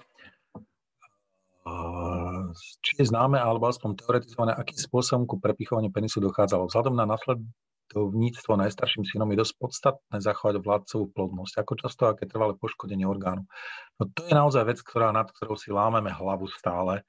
Nie je, to, nie, je to, nie je to jasné. Videli ste na tých obrázkoch, že tie, že tie obrázky ukazujú kompletnú perforáciu toho penisu. Teda de facto zmrzačenie, dalo by sa povedať. Ale že na druhej strane to boli, ako hovoríte, králi, ktorí museli mať svojich potomkov, ktorí, následovníkov. Takže existuje mm, dosť veľa bádateľov, ktorí sa domnievajú, že išlo len o prepichovanie predkošky a krvácanie vlastne z predkošky, alebo e, že existoval vlastne určitý vpich, ktorý bol trénovaný a vedelo sa presne, akým spôsobom vlastne, a že sa to relatívne vedelo aj rýchlo zaceliť to je jediné, jediná možnosť, pretože zase keby išlo len o predkošku, tak by sa to ťažko dalo porovnať s tým strašným, strašnou bolesťou, a, ktorú podstupovali úplným rozdrasaním jazyka ženy. Takže len sa museli vyhnúť vlastne určitým častiam. Myslím si, že mali na to, mali na to techniku, ktorou to vedeli vlastne urobiť tak, aby e, to bolelo, aby to dostatočne krvácalo, ale aby to tú plodnosť e, neohrozilo. To je, to je dobre položená otázka a naozaj e, neexistuje zatiaľ na ňu. Existuje experimentálne arch, experimentálna archeológ, archeológia, ale skúste mi nájsť takého archeológa, ktorý by ten experiment vstúpil. Uh, že či to či po, podobné rituály uh, trvajú aj dnes, No, to by som povedal, že teda asi nie. Tak ako som ukázal u Lakandoncov, eh, tak krv, to bolo prvé, čo Španieli vlastne zakázali tieto krvavé rituály a eh, dali sa, eh, začali sa robiť akoby náhradné, že je to také rozličné druhy červeného farbiva a potom tá živica, ktoré sa obetovávajú a ktorá sa volá ako krv má ten istý názov, čiže oni vlastne hovoria, že obetovávajú krv, ale obetovávajú v skutočnosti živicu. Takže tá, mm, to obetovanie krvi, e, posledné u Lakandoncov by som povedal asi tak v roku 1940 bolo zaznamenané. Odtedy je to už len symbolické. A ako interpretujete Pakalov sarkofag z chrámu napísal v Palenke, niektorí interpretujú ako astronaut. Áno, to som hovoril, že to je to je Denikenov vymysel, eh, že ten, ten, ten, tie raketové motory a tak ďalej, to je to, čo tam pokladá za oheň z motorov, to je vlastne taká briadka uh, vlastne čelusti podsvetia. Tie čelusti podsvetia mali svoj, mali svoj názov, nachádza, mali, mali hieroglyfické vyjadrenie, nachádzame ich mnohokrát. Bol to akoby portál, a nie tak čeluste, bol to portál do podsvetia a tento portál je tam vyobrazený akože v plnej paráde, ako ikonografický a do ňoho vlastne sa prepadá, do ňoho vpadá, akoby pohlcuje vlastne pakalo, pakala po smrti. Čiže je to, ale zároveň z neho vyrastá strom života. Takže je to vlastne skôr o smrti a znovu zrodení, než o nejakých kozmonautoch. Uh, ďalšia otázka je, boli realizované aj obetovanie detí alebo detskej krvi? Podľa tých záznamov, ktoré máme, tak majovia detskú krv neobetovali. Mm, a deti obetovali, ale až pod vplyvom vlastne mexických kultúr vo veľmi neskorom poklasickom období. V klasickom období obete detí nezaznamenáme, ale boli vlastne veľmi rozšírené v strednom Mexiku pre boha dažďa Tlaloka. A keď sa táto stredomexická móda a čiastočne aj vojska a tak ďalej dostali na majské územie e, niekedy po 11. storočí nášho letopočtu, tak sa tu dostalo aj to obetovanie detí. Ale predtým z toho obdobia, o ktorom som hovoril, predklasického ani klasického, nemáme o takýchto zvykoch uh, žiadne informácie, takže zjavne to bol mexický zvyk, ktorý sa sem iba dostal. A tu je otázka, kde sú dnes artefakty, ktoré sme našli. No, všetky tieto artefakty sú v Národnom Guatemalskom múzeu a dokonca vystavené a niektoré putujú po svetových výstavách a tento náš slávny prepichovač bol nedávno na veľkej výstave v Kanade. Uh, neviem, či sa k nemu ešte niekedy vôbec dostanem, pretože oni nám ho vyslovne vytrhli z rúk a hneď ho zamkli do vitrín a tak ďalej, lebo sa báli, že, že nám ho niekto ukradne. Tam je veľmi vysoká kriminalita, on má obrovskú cenu a hneď potom, ako sme ho našli, tak sme v podstate ho obľahli, takže sme spali okolo neho v noci, lebo ešte bol stále v tej pyramíde, ale už bol e, vlastne, to sa veľmi dlho čistí a vykopáva, to nie je také, že nájdem, chmatnem. Trvalo to asi dva dní, než sme ho kompletne odtiaľ vybrali, ale tie noci vlastne dobrovoľníci spali okolo toho, aby niekto musel na nich vstúpiť, keby tam chcel ísť. A hore sme postavili chlapa s puškou, ktorý to vlastne celé strážil. Takže my sme boli také živé nášlapné míny, ak by na niekoho vstúpil, tak ten zakvičí a odkiaľ sa ozve ten kvik, tak ten chlap s puškou by tým smerom strelil. Ale našťastie nič také nebolo treba robiť, takže sme uh, tieto artefakty uh, statočne ubránili a odovzdali vlastne guatemalskej vláde tam, kam patria, pretože je to predsa len ich územie a je to história, vlastne ich národná história.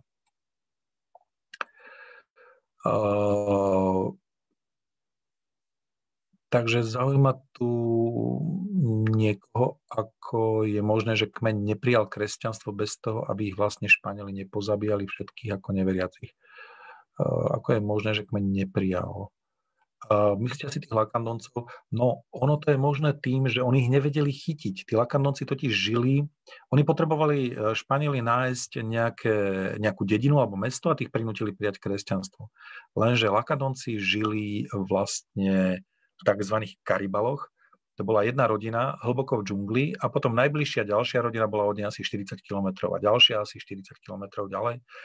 A oni sa poznali a vedeli sa niekedy navštíviť, ale žili v tak roztrúsení v neprechodnom pralese, že Španieli ich nevedeli nájsť. Nemohli ich e, proste takmer 500 rokov sa k ním nedostali.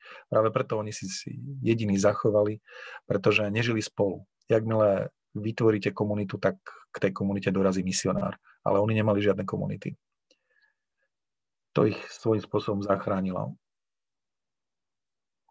Odborné publikácie alebo knihy, ktoré sa venujú tejto tematike alebo majskému umeniu, ktoré považujete naozaj za dôležité, alebo tematike oblasti majskej kultúry najpodstatnejšie.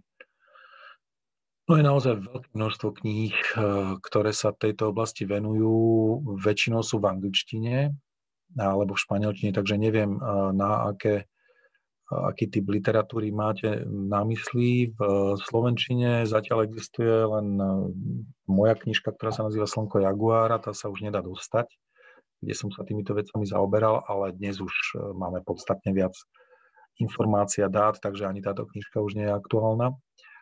Literatúra je naozaj bohatá, ako pokiaľ by ste chceli konkrétne typy, Eh, tak mi napíšte, eh, keď si dáte stránku Filozofickej fakulty, katedra porovnávacej religionistiky, tak tam si dáte vedúci katedry a tam sa vám objaví moja fotka, môj e-mail a kľudne mi napíšte, ja vám určite odpoviem eh, zoznam odporúčanej literatúry k tejto téme. Ostatné ešte pripojený. Facebook má oneskorenie a ukončuje sa dlhšie ako tento Zoom. Áno, takže mám ešte zostať pripojený. Dobre, ďakujem za radu. Myslím, že